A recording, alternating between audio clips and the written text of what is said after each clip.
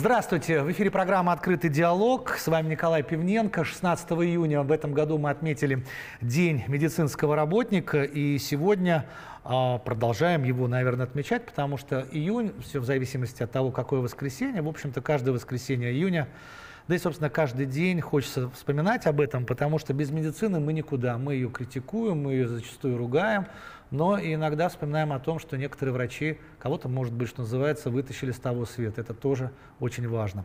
И у нас в гостях заведующий хирургическим отделением Московского областного центра охраны материнства и детства, кандидат медицинских наук, детский хирург высшей категории, детский уролог-андролог, детский онколог, главный внештатный специалист, детский хирург Минздрава Московской области. Вот столько много обязанностей у нашего гостя. Владимир Олегович Трунов. Здравствуйте.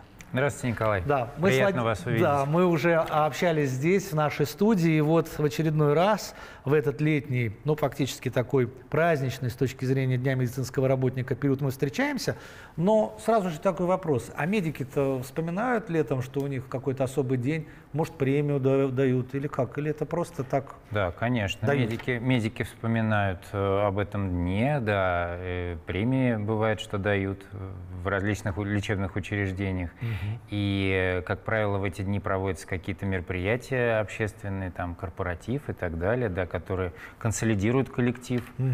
Поэтому То есть обязательно. все-таки вспоминать, да, это приятно. Да. Но, э, насколько я понимаю, все равно праздник у нас немножечко гулящий, то есть в зависимости от э, воскресенья да, июньского. То есть нету такого дня прям конкретного. Переходящий. Переходящий. Да. Ну, может быть, это и правильно, потому что а, у медицинских работников это же 24 на 7, особенно если ты руководишь большим коллективом или, например, клиникой, или даже ну, у тебя есть палата, где есть больные, которые 24 часа требуют какого-то за тобой внимания. Но напомню, что у нас заведующий хирургическим отделением Центра охраны материнства и детства, мы в прошлый раз говорили об этом. Вот все-таки напомню, этот вопрос, может быть, я задавал. А дети сложнее, чем взрослые с точки зрения медицинского, вот в данном случае обслуживания? Сложный ну, да, мы это с вами обсуждали. Тут, наверное, речь о том, что э, с самими детьми, может быть, даже в каких-то моментах приятнее работать но есть их родители, законные представители, mm-hmm. да, с которыми могут быть Немножко определенные сложности взаимодействия, все они разные, да, поэтому ну, мы к этому адаптируемся, привыкаем. Mm-hmm. Ну и второй раз, наверное, повторю этот вопрос, все-таки мы уже давненько встречались. А врач, который работает со взрослыми, ну это как бы понятно. Ну, со взрослыми вроде можно, да, нервы, да, могут быть проблемы, но как-то вроде можно договориться. А врач, который работает с детьми, немножечко должна быть другая психология другая какая-то мера ответственности, или это не важно? Э, я думаю, что, конечно, отличается, хотя мне сложно тут говорить. Я никогда взрослых пациентов не лечил. Всю ага. жизнь я закончил педиатрический факультет, и тут э, в моей практике всегда были дети. Угу. Вот. Мне это нравилось. В общем, исходно я хотел работать именно с детьми, поэтому не рассматривал вариант себя как взрослого врача. Но, наверное, конечно, э, общение достаточно сильно отличается. А это был ваш выбор? Это какое-то, может быть, в детстве что-то произошло? Ну да, это в юности было желание угу. заняться детской хирургией. Понятно. Просто иногда, может быть, там что-то случилось, может, какой-то врач вас где-нибудь обидел или неправильно вылечил, и сказали себе, я вот вырасту и буду лечить детей правильно. Или нет? Ну нет, такого, счастью, нет? такого не было, даже и не оперировали меня в детстве никогда, поэтому... Понятно.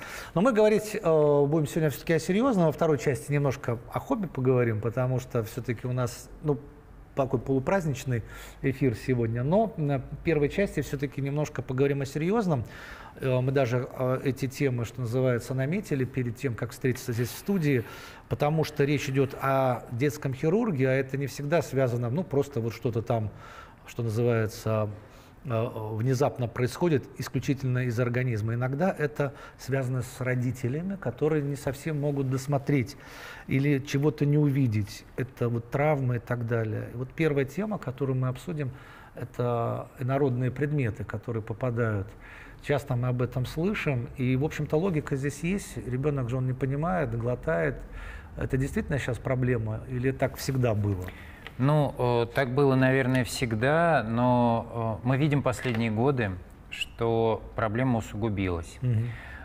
Вы абсолютно правы в том, что, к сожалению, наиболее частая причина – это недосмотр родителей, когда дети имеют возможность э, держать в руках какие-то мелкие предметы, когда родители не отдают себе отчет о той опасности, которую тот или иной предмет может э, представлять для mm-hmm. ребенка. И, как ни странно, вот исходя из практического опыта, э, те э, объекты, которые на первый взгляд кажутся наиболее опасными, они как раз опасность представляют наименьшую. Ну, например, самый простой э, из примеров – это проглатывание швейных игл. Дети проглатывают швейную а, иголку. Аж больно стало. Да. Так. Но швейная игла всегда в желудке переворачивается тупым концом вперед, он тяжелее, угу. и выходит естественным путем, никуда абсолютно не э, внедряясь, э, не протыкая стенку кишки ребенка. Да, вот что, такой, вот казалось бы, никогда опасный бы предмет, да, да, но по факту представляет опасность для ребенка минимальную. То же самое касается стекол, когда дети откусывают э, бокалы, лампочки, те пациенты, которые были у нас, э, не нуждались в какой-то хирургической помощи. Даже и... порезов не было? Да, даже порезов как не интересно. было. Это все выходит естественным путем на фоне той терапии, которую мы назначаем. Но, например, большую опасность представляют батарейки. Небольшие круглые батарейки, такие вот в форме таблетки. Угу. Если ребенок проглатывает эту батарейку, и она застревает где-то в физиологических изгибах, пище... Э, сужениях пищевода, извините, то э, в этих ситуациях длительный контакт батарейки со слизистой приводит к коррозии корпуса, истечению электролита – и Это возникает химический, химический ожог э, стенки ожог. пищевода даже с риском развития перфорации, что, в общем, может быть весьма опасно для состояния ребенка. Поэтому э, для родителей такой наиболее важный, э, наверное, совет. Если вы видите, что ваш ребенок проглотил батарейку, то Сразу. нужно максимально быстро доставить его в больницу, чтобы ее э, специалисты, эндоскописты могли извлечь в ближайшее время. Чем раньше извлечена батарейка, тем меньше последствий мы можем видеть у нашего пациента. Но извлечь сможем? Батарейки. В подавляющем большинстве можем. А, у нас э, в отделении там за год проходит, ну, наверное, более 500 больных с инородными предметами, телами различного происхождения, в том числе и батарейками. Но вот за прошедший год у нас было только два случая, когда эндоскопически не смогли извлечь батарейку, и нам пришлось ее извлекать из шейного доступа, вскрыв пищевод, потому что уже, уже был дефект стенки, она уже находилась рядом с пищеводом mm-hmm. фактически в клетчаточном пространстве. Да, уже позднее поступление. Mm-hmm. Поэтому, конечно, от родителей очень много зависит. Ну вот давайте мы сразу о, напомним, потому что сами были маленькими, родители да, должны понимать, что, я так понимаю, ничего не должно быть в доступе, то есть все должно быть да, спрятано. Конечно. Если э, говорить точнее, то, например, на многих конструкторах, игрушках угу. сейчас стоят возрастные ограничения. Да. Это касается тех э, предметов, в которых есть мелкие детали. Наличие мелких деталей может быть поводом для того, чтобы ребенок в эту игрушку до какого-то определенного времени не играл. Ну, там, до 5, до 6 mm-hmm. лет. Хотя бывает проглатывание и в более старшем возрасте, но это скорее исключение из правил, mm-hmm. к счастью, все-таки. Маленькие дети, которые э, тянут в рот э, различные предметы, да, они могут проглатывать, абсолютно не задумываясь, чем это грозит. Другой вот бич современности, это такая опасность даже в большей степени, наверное, э, Э, на который надо заострить внимание, это магнитные шарики. Угу. Конструкторы. Знаменитый конструктор NeoCube, который угу. создала, если мне память не изменяет, американская компания уже там больше 20-30 лет назад. Эти маленькие шарики обладают достаточно сильным магнитным полем, интенсивно взаимодействуют между собой. когда ребенок проглатывает их, попадая в различные отделы желудочно-кишечного тракта, они соединяются и образуются так называемые магнитные анастомозы, отверстия в кишке сквозные, которые могут э, быть своевременно не диагностированы, если об этом неизвестно. Mm. Эти шарики иногда бывают цветные, то есть они похожи на какие-то конфетки, витаминки, и маленький ребенок э, не всегда может понять, что он проглатывает. А в ряде стран есть запрет на продажу этого конструктора. Ну вот если мне память не изменяет, в Австралии и, по-моему, Бельгии или Австрии тоже они mm. запретили. В Штатах был запрет одно время, потом компания отсудила возможность продажи. В нашей стране это в свободном доступе, и родители, не думая, покупают этот конструктор для развития мелкой моторики, даже не подозревая Получают о том, что такое... они подвергают свое чадо ну, такой серьезной опасности. А как тогда тут поступить? То есть, если уже решили моторику развивать, то надо шарики считать тогда, получается? Сколько шариков было? Ну, как, как? Если вот вы говорите, мы что некоторые рекомен... даже мы рекомендуем, даже если такой конструктор уже есть дома, мы рекомендуем его убрать, Отказаться. чтобы он был вне доступа ребенка. Да, наверное, поэтому мы должны об этом сказать в эфире, угу. э, ну, чтобы люди знали, чтобы люди об этом знали, потому что они об этом не задумываются. Ну, к сожалению. Э, я так понимаю, что все-таки вот возвращаясь опять к профилактике, все же вот вы как да, врач, детский врач, э, действительно надо все убирать. То есть должен быть какое-то место, куда все надо убрать, чтобы ничего не было на ну, столе. Тут, наверное, Или нам трудно добиться Тут, такого? наверное, э, разумный подход должен быть все-таки. И э, я полагаю, что э, если все-таки родители намерены э, заниматься с ребенком в этом направлении, угу. то ребенок должен находиться под постоянным присмотром своего в доступе, папы да. или мамы, да, которые будут видеть, что он делает с этими шариками, и не дадут возможности ему их проглотить. Вот. Тогда риски снижаются, хотя они все равно присутствуют. Есть, да. У нас были, к сожалению, пациенты даже более старшего возраста. Там был, например, у меня мальчик 12 лет, который проглотил шарики и не мог сказать, для чего он это сделал. Он не наблюдается у психиатра, но просто ну, вот просто у него бывает, так получилось, да. что во время э, э, чем-то он занимался, он проглотил эти шарики, к сожалению.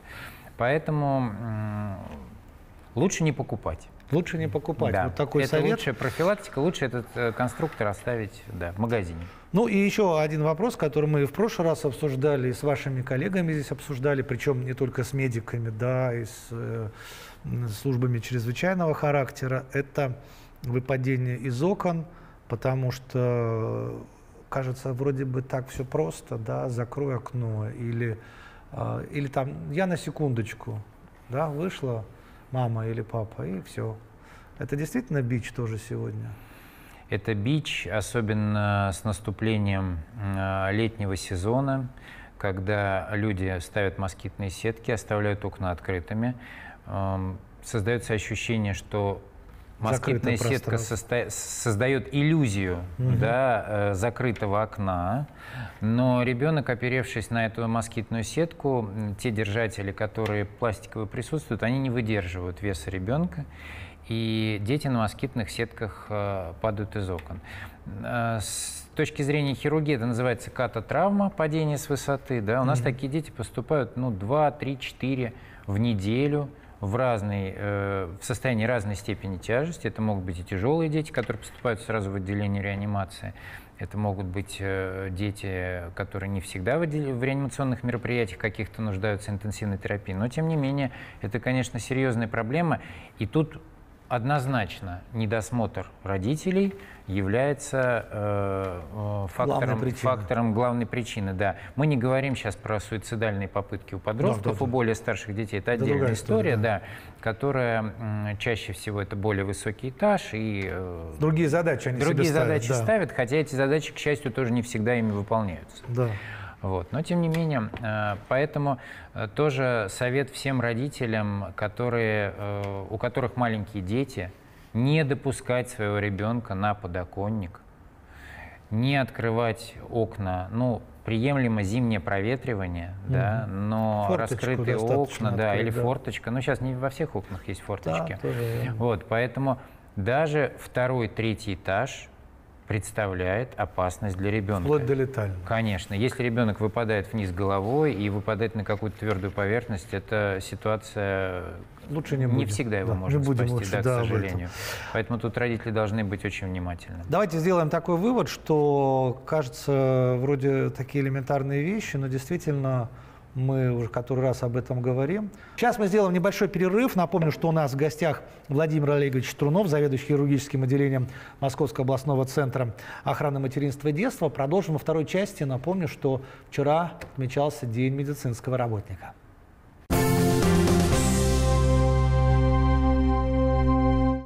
Напомню, что это программа «Открытый диалог». С вами Николай Пивненко. Сегодня у нас в гостях заведующий хирургическим отделением Московского областного центра охраны материнства и детства, кандидат медицинских наук, детский хирург высшей категории, детский уролог, андролог, детский онколог, а также главный внештатный специалист детский хирург Минздрава Московской области Владимир Олегович Трунов. А, говорим мы сегодня уже после, ну, скажем так, отшумевшего глобально а, дня медицинского работника. В июне, как вы знаете, в зависимости от э, года, этот праздник отмечается в воскресный летний день. И, э, кстати, а что пациенты вам? Какие-то звонки идут, подарки? Э, вспоминают? Э, Конечно, да, да, да. да. А, вообще... вообще благодарность пациента для врача это что? Ну, э, вы знаете как? Вообще надо сказать, что есть пациенты, с которыми мы много лет поддерживаем а, какую-то связь. Угу. Это нельзя сказать, что мы в каких-то близких дружеских отношениях, но тем не менее приятно, когда... Не чужие люди. Да, да. когда э, ребенок, который лечился у тебя там 5, 10 и даже 15 лет назад, э, родители вспоминают, поздравляют с какими-то праздниками, э, искренне желают чего-то, вспоминают о о тех усилиях, которые мы э, вместе с ними, э, с их поддержкой тоже, да, э, приложили к выздоровлению ребенка. Поэтому, конечно, такие случаи есть, их немало, вот, и это всегда приятно.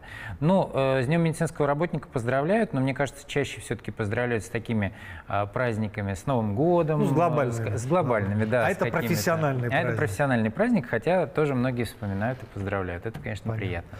А, в первой части мы говорили о таких проблемных, э, так как, напомню, у нас детский врач, и он убежденный детский врач, ни, ни разу не лечил взрослых, да? Не, ну Официально. Я, я лечил взрослых, да. да, да. Ну, то есть, ну, если да. что-то с ведущим станет, то, надеюсь, помощь будет оказана, конечно, да? Конечно. Вот. Тут-тут, постучим по столу. Но э, еще одна такая проблема э, в детском... Ну, человек так устроен, что неприятности с точки зрения здоровья к нему могут прийти в первые секунды его жизни, что называется, да? И вот тема аппендицита всплывает тоже в последнее время, потому что а некоторые узнают об, об аппендиците где-нибудь там во второй части половины своей жизни, а некоторые, вот, например, я э, в раннем детстве столкнулся с этой историей и помню, что очень много шуму наделал у себя дома. Это тоже проблема сегодня, аппендицит? Ну, аппендицит – это проблема всех времен. Это питание неправильное или а, что это такое? Нет, скорее, тут много факторов. А, но надо сказать о том, что аппендицит – это заболевание, который встречается чаще всего э, в структуре экстренной хирургической патологии mm. у детей. И у взрослых, кстати говоря, тоже. То есть это то, с чем чаще всего имеют э, дело хирурги. С провокация э, какая-то В экстренной идет, ситуации, да, да в какой-то. Давайте вот сразу начнем. Миф. Ну, мы же любим мифы медицинские. Семечки. Нет, семечки это само собой.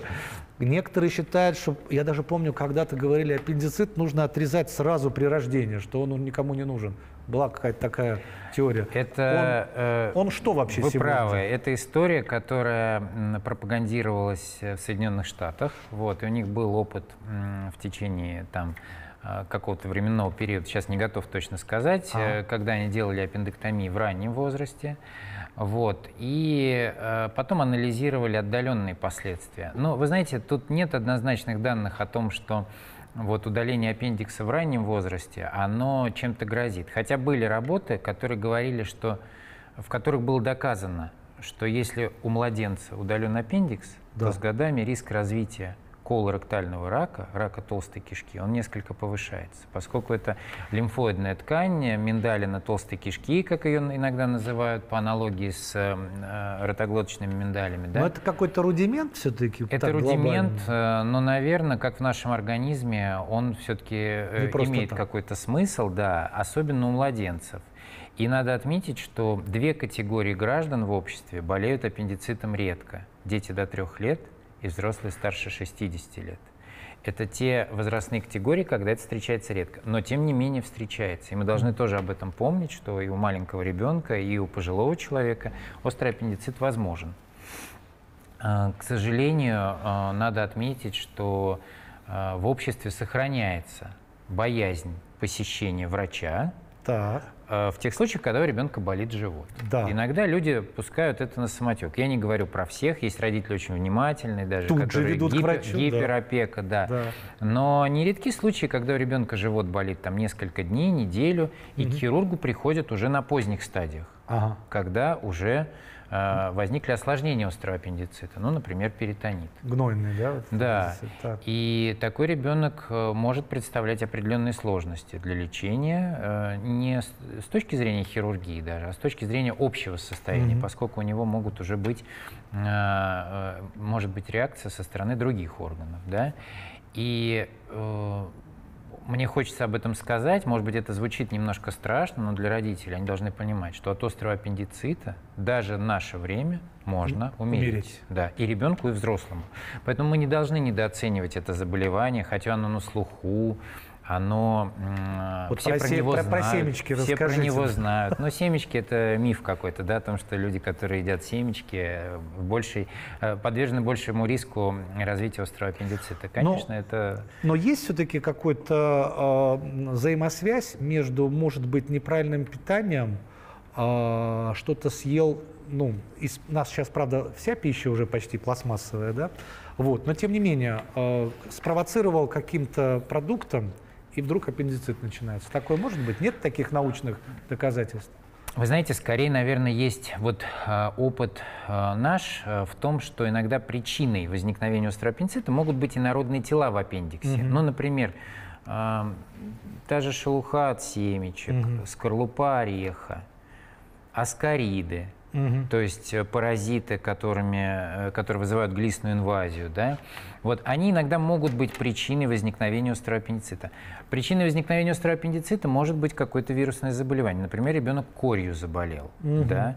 То есть э, увеличение э, реакции лимфоидной ткани со стороны брюшной полости в том числе может проявляться и развитием острого аппендицита. Иногда, да, даже в подавляющем большинстве случаев, явный предпосылки для развития заболевания, ее может не быть. И вдруг на тебе. Да, поэтому э, тут и в этих случаях мы можем, наверное, вправе говорить об анатомических особенностях. Mm-hmm. Есть дети, у которых аппендикс деформирован какими-то спайками, из него мы можем предполагать, что есть чуть хуже отток. В этих ситуациях мы можем э, на операции э, видеть, что, скорее всего, причиной были какие-то анатомические особенности. Но, опять же, единой теории Пока возникновения нет. острого аппендицита, да, ее нет. Ну, везде написано о том, что возникает, появляется каловый камень в просвете, mm-hmm. который вызывает пролежень слизистой, воспаление и так далее. Но это Но получа... да, получается, что вот все-таки есть какие-то сдерживающие факторы для человека, когда надо знать, надо помнить, что такое может произойти, и полезно эту информацию, естественно, э, все время как бы, чтобы она присутствовала, и я не зря же спросил, вот вроде как рудимент, и все-таки природой же он там пока остался, что-то вроде как исчезло, если верить в теорию Дарвина, да? Ну, по крайней мере, ее взять. Теория Дарвина уже подвергается я, сказал, сомнениям очень верить. давно. Не, ну да. если мы скажем, что мы из дельфинов вышли, если такая теория, то есть из э, мира подводного. Но я к тому, что... Сам Дарвин, кстати, извините, я вас перебью, сомневался в своей теории. Он говорил, что когда я смотрю на человеческий глаз, на его строение, так. я понимаю, что моя теория весьма сомнительна. Все-таки рыба? Да, что нет, что глаз так сложно устроен, что он не мог возникнуть в процессе эволюции. Mm-hmm. Что это божественное творение все-таки. Уже Дарвин даже это понимал. Поэтому, как приятно с врачом а сейчас, поговорить. Э, сейчас э, мы все больше и больше убеждаемся в том, mm-hmm. что, наверное, все-таки мы не от обезьяны произошли. А это хорошо или плохо? Ну, конечно, хорошо.